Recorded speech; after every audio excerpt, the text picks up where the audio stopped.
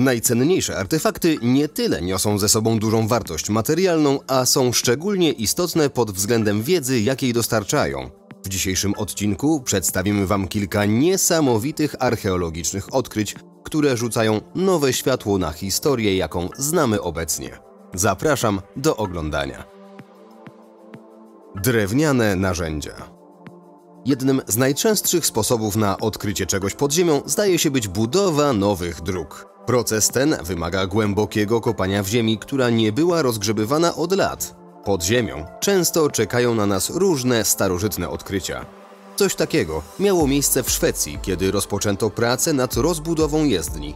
Znalezione tam artefakty są reliktami z epoki żelaza, ale nie są z żelaza wykonane. Są drewniane. W rzeczywistości są to jedne z najstarszych drewnianych przedmiotów wykonanych przez człowieka, jakie kiedykolwiek odkryto w tym kraju. Dzięki datowaniu węglowemu archeolodzy byli w stanie potwierdzić, że powstały około 1700 lat temu.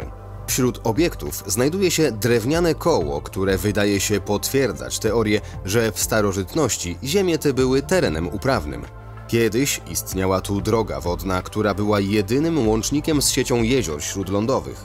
Musiało być to niezwykle atrakcyjne miejsce dla osadników i handlarzy już w epoce kamienia. Wilgotna, pozbawiona tlenu glina okazała się idealnym środkiem konserwującym te cenne znaleziska. Tajemniczy grobowiec. A oto kolejna historia, w której pracownicy budowlani dokonują zaskakującego odkrycia, tym razem w Turcji. W listopadzie 2017 roku jednostka dystrybucji energii w tureckiej prowincji była właśnie w trakcie remontu, kiedy to niespodziewanie pracujący tam robotnicy odkryli tę starożytną kamienną pokrywę sarkofagu. Znalezisko datuje się na 1407 lat, co sprawia, że powstało ono w erze bizantyjskiej. Greckie znaki wyryte na powierzchni wieka są wciąż czytelne i można je przetłumaczyć jako tu leży błogosławiona Kendes. Uważa się, że sam sarkofag tej kobiety wciąż znajduje się gdzieś pod ziemią, ale wieko jakoś zostało naruszone i oddzielone w pewnym momencie w odległej przeszłości. Odkrycie kryje w sobie sporą tajemnicę dla archeologów z tego regionu, ponieważ nie ma żadnej wzmianki o istnieniu jakiejkolwiek osady w czasach starożytnych w tym właśnie miejscu. Ten wielki sarkofag normalnie powinien znajdować się w jakiejś dawnej nekropolii, a jeżeli to faktycznie była nekropolia, to istnieje szansa, że robotnicy znajdą w tym miejscu jeszcze nie jeden grób. Po dokonaniu tego odkrycia natychmiast zarządzono dalsze prace archeologiczne na tym obszarze. Niestety, do tej pory nie dokonano żadnych innych znaczących odkryć. Opuszczona farma. Odkrycie obszaru nazywanego Mast Farm w tej osadzie z epoki brązu w Anglii zajęło archeologom trochę czasu. Wykopaliska w tym miejscu rozpoczęły się w 1999 roku. Początkowo odnaleziono tam kilka prostych drewnianych słupów. Dalsze wykopaliska zostały przeprowadzone na stanowisku w pobliżu Withers Lake, Cambridgeshire, w wyniku których w 2011 roku odkryto 8 łodzi z bali z epoki brązu. Do 2012 roku archeolodzy byli pewni, że mają do czynienia z wielką osadą. Niektórzy nawet nazywali ją brytyjskimi Pompejami. Archeolodzy doszli do wniosku, że istniejąca tu niegdyś osada została dość szybko opuszczona. Nie wiedzieli jednak dlaczego. Niedawno przeprowadzona analiza zwęglonego drewna i popiołu na stanowisku sugeruje jednak, że zaledwie rok po założeniu osady wybuchł tam ogromny pożar, który zmusił mieszkańców do jej opuszczenia. Ewakuacja była tak pospieszna, że wiele glinianych garnków znalezionych w starych domach nadal zawierało w sobie żywność. Wszystko to wydarzyło się gdzieś pomiędzy 2800 a 3000 lat temu. Odzyskane artefakty. W 1897 roku brytyjscy żołnierze zaatakowali i splądrowali miasto Benin w Królestwie Beninu, części świata, która znajdowała się na obszarze współczesnej Nigerii. W tym czasie skradli tysiące artefaktów kulturowych i dzieł sztuki, w tym wiele wspaniałych konstrukcji z kości słoniowej i metalu. W kwietniu 2021 roku jedna z tych rzeźb wreszcie wróciła do domu. To znakomity obraz wykonany z brązu benińskiego. Jest nim rzeźba mająca przypominać głowę króla. Miejmy nadzieję, że będzie to pierwsza z wielu takich rzeźb, które w nadchodzących latach wrócą z powrotem w miejsce, z którego niegdyś zostały zabrane. Odzyskane artefakty trafiły do nowo powstałego Muzeum Sztuki Afryki Zachodniej Edo. Do tej pory dzieło znajdowało się na Uniwersytecie w Aberdeen w Szkocji i zostało zakupione na aukcji w 1957 roku. Uczelnia dobrowolnie zwróciła artefakt po dokonaniu przeglądu okoliczności jego nabycia i uznaniu ich za nieetyczne.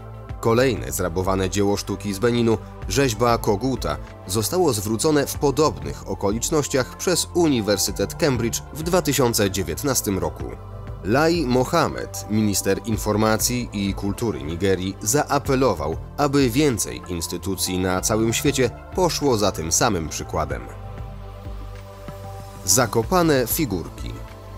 Od pięciu lat zespół studentów z francuskiej uczelni, która ma siedzibę w Atenach w Grecji, prowadzi wykopaliska archeologiczne na Krecie. W tym samym czasie młodzi archeolodzy znaleźli wiele różnych przedmiotów i artefaktów. Jednak to te figurki, które swego czasu służyły jako religijne dary dziękczynne, są ich największym odkryciem. Większość małych rzeźb przedstawia postacie kobiece, Postacie, które nie przedstawiają kobiet, kształtem przypominają zwierzęta i są rozrzucone po kilku grupach grobów i miejsc pochówku. Dziwną rzeczą związaną z tymi odkryciami jest to, że cały obszar został już wcześniej zbadany przez archeologa Pierre de Marne w 1929 roku, który również znalazł podobne figurki. Po zakończeniu pracy był pewien, że odkrył już wszystko, co się dało na tym obszarze, Wygląda jednak na to, że albo nie kopał wystarczająco głęboko, albo studenci byli po prostu od niego lepsi. Religijne figurki były często pozostawiane przez ludzi w miejscach świętych lub w grobowcach.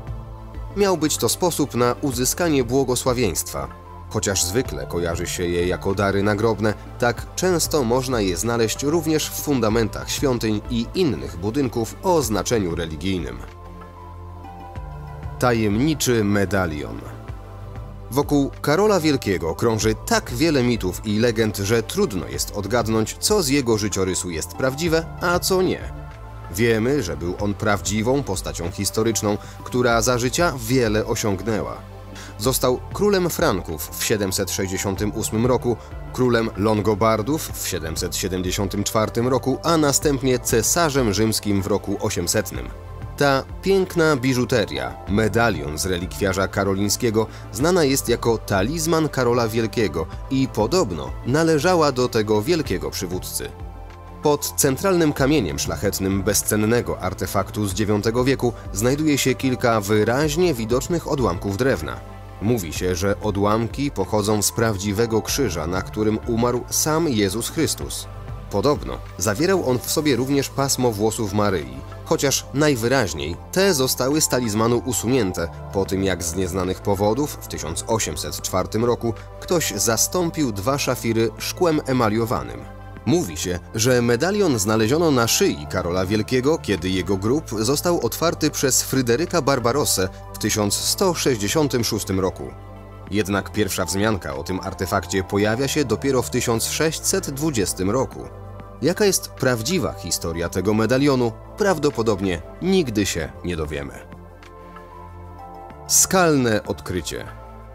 Większość archeologów marzy o znalezieniu czegoś, co zmieni nasze wyobrażenia o historii ludzkości, ale bardzo niewielu z nich kiedykolwiek się to udaje. Te narzędzia i kryształy trochę jednak zamieszały w tym temacie. Zostały one znalezione w skalnym schronie na pustyni Kalahari na początku 2021 roku. I choć jest to w zasadzie niemożliwe, to wszystko wskazuje na to, że powstały 105 tysięcy lat temu. Wiemy, że narzędzia o podobnym standardzie powstawały w tym samym czasie gdzie indziej na afrykańskim wybrzeżu, ale nigdy wcześniej na terenach obecnego RPA nie znaleziono niczego o tak wysokim stopniu wyrafinowania z tej samej epoki. Podważa to ideę, że ludzkie życie, takie jakie obecnie znamy, wywodzi się z jednego konkretnego miejsca w Afryce i rozprzestrzeniło się na cały świat. Obecnie wydaje się, że ludzie w wielu różnych miejscach Afryki mogli osiągnąć ten sam poziom ewolucyjny w tym samym czasie. Nie zapomnijcie o subskrypcji kanału, żeby dostawać powiadomienia o najnowszych odcinkach. Dziękuję za oglądanie i do zobaczenia już niebawem.